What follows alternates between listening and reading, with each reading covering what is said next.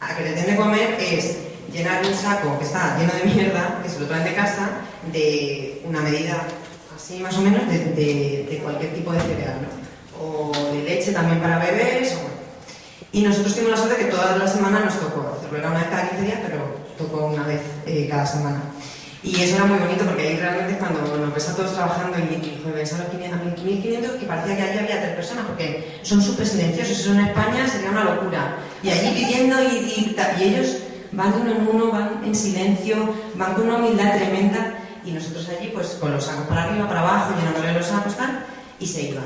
Entonces eso nos llevaba toda la mañana. Y, y luego dos días a la semana curábamos enfermos, los martes y los viernes. Manuel y yo. Eso era un poquito duro, la verdad que eso fue una experiencia muy bonita para mí porque a mí no me gustan los niños ni en pintura. Y claro, estar allí con los niños a mí me resultaba durísimo. Yo decía, sí, bueno, hay que estar aquí con los niños y tal, pero que todo lo que fuera poder evitar estar con ellos, pues hay que poner enfermo, yo voy, hay que poner yo voy, todo lo que sea no estar con los niños.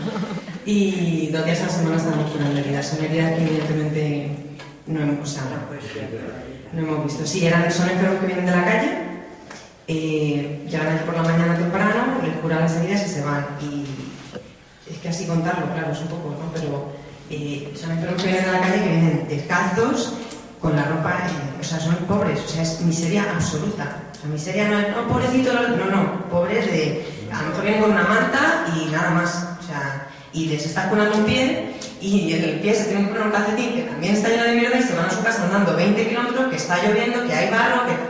Entonces es, tremendo, o sea, es tremendo, que no hay...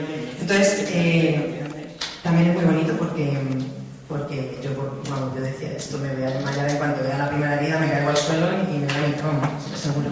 Bueno, ver la primera herida, te quieres, te quieres desmayar pero no puedes, es que huele fatal porque está todo infectado, pero estás allí, estás allí, lo haces, no hay que ser médico, no hay que ser enfermero porque todo es eh, betadine, pomada, una gasita y cerrar la herida y a su casa, entonces tampoco se puede hacer nada más.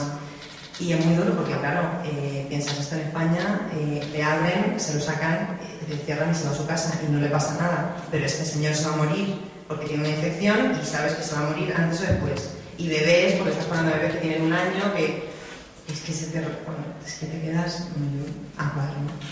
Y, pero era muy bonito. Manuel y yo, en lugar de, de venirnos abajo, nos veníamos arriba. Entonces, eh, no sé, bueno, sí, lo sé, ¿no? Del Espíritu Santo. La gracia de Dios, de repente allí pues te pones a bromear con ellos. Y entonces el resto de nuestros compañeros decían, pero ¿cómo podéis en esta situación estar bromeando? Y decían, pues te, te pegas un tiro o te pones a reírte, porque en esta situación, ¿qué haces? Pues te pones a reírte y te sale, y te sale. Y no sé cómo te sale.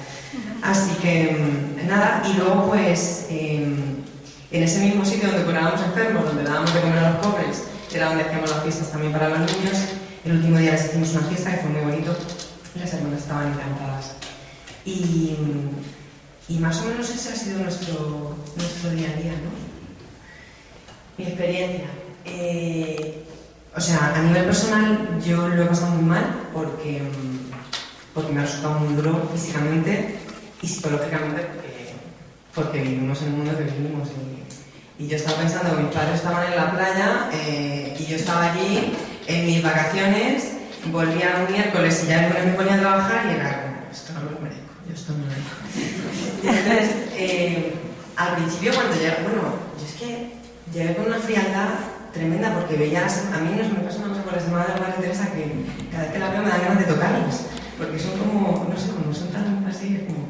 Y sin embargo cuando llegué a Isabel y la vi, yo decía, que vengan a darme las gracias, ¿no? Estoy aquí en mi, tiempo libre, mis vacaciones, que vengan por lo menos, como mínimo, que vengan a darme las gracias. Entonces, todo eso va evolucionando y esa frialdad como que se va rompiendo un poquito. Eh, me acuerdo un día que volvimos a la casa, ya era 14 de agosto, volvimos a la casa y, no sé por qué ese día ya empecé como a, ver un poquito la muerte. ¿no? Y los niños se te tiran encima, se te tiran encima, te llaman por tu nombre, son muy pesados, están todo el día encima de ti, es como, pero déjame. No me gustan los niños, mm, huelen mal, o sea, no te acerques a mí, déjame, pero no, ellos van y te quieren besar y te quieren coger y no se separan de ti. Y pues estoy todo el día diciendo, pero los niños que me paz. Y al final, de repente un día, Vamos a ver una, bueno, una, una historia que estaba haciendo un señor allí, un alemán que estaba haciendo allí. Y me acuerdo que entramos en la casa y entonces los niños igual. Entonces notas que de repente te empiezan a llamar por tu nombre desde un kilómetro y se te empiezan a tirar encima y yo decía, Dios mío, esto es muy parecido al amor que, que tú nos tienes, ¿no? Cuando vamos a verte, no nos preguntas dónde hemos estado, no nos preguntas por qué no hemos venido antes. Estás con los brazos abiertos y, y ya está, y nos sonríes. Y, y eso es, o sea, así te va razonando el corazón. Eso y, bueno, mi grupo que fue la leche. Yo decía, este grupo vaya lo mismo. Una pareja de novios, una pareja de casados, una... no sé qué, como dice, como dice José María, que en la iglesia hay gente muy rara. Digo, estos son más raros, ¿no? rollo del grupo. Vaya, porque claro, pues siempre quieres ir con tus amigas y vivir esa experiencia con tus amigas. Y sin embargo, la convivencia fue absolutamente increíble, he aprendido muchísimo y lo tengo que decir porque además dos de ellos están aquí. Eh, la delicadeza de las hermanas es muy difícil encontrarla en tu día a día, o sea, aprender de ellas. Y la delicadeza de Manuel y de Cecilia, por ejemplo, como matrimonio también, eh, a mí, y estoy segura que al resto del grupo, nos ayuda mucho porque te das cuenta de como matrimonio qué diferencia. O sea, yo tengo muchísimos amigos casados y ves cómo viven el día a día y lo ves a ellos y dices, qué respeto y qué delicadeza tan grande. Entonces, hasta en eso he tenido suerte en Etiopía, ¿no? hasta, hasta en aprender de ellos. ¿Y qué más? Pues dos cosas que he aprendido en Etiopía. A confiar en Dios, muchísimo. ¿Confías en Dios? Sí, sí, confío en Dios. No, confías en Dios de verdad. O sea, confías en Dios en tu vida. O sea, tu vida está, la, la has puesto en manos de Dios. Yo no. O sea, yo confío en que tengo que ir a trabajar, que salgo a las 6, que a las 6 me voy a no luego a la peluquería, luego tengo que hacer la luego tengo que no sé.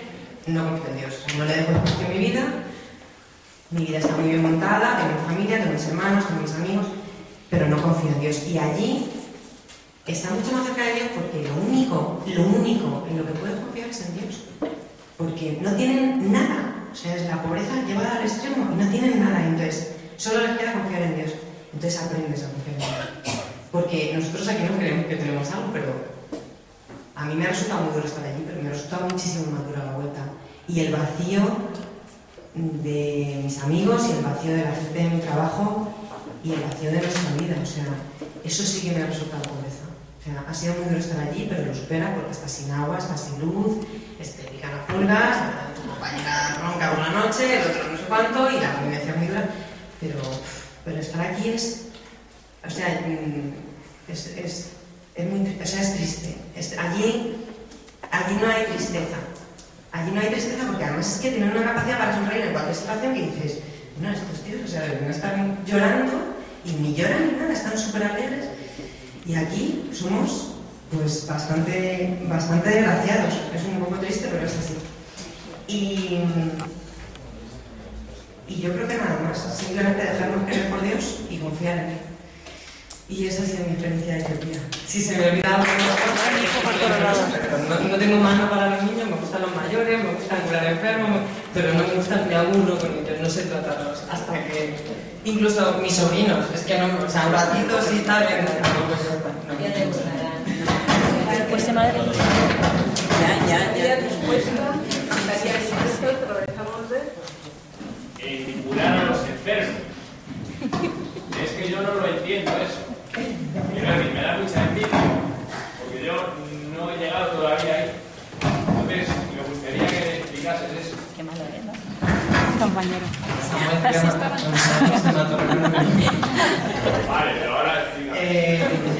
Pues, este es el chico que os he dicho antes que se pasaba el día jugando fútbol con los niños. Eh, yo admiro eso de él, que se tiraba todo el día jugando con ellos porque a mí me parecía un poco... Un poco un poco inútil.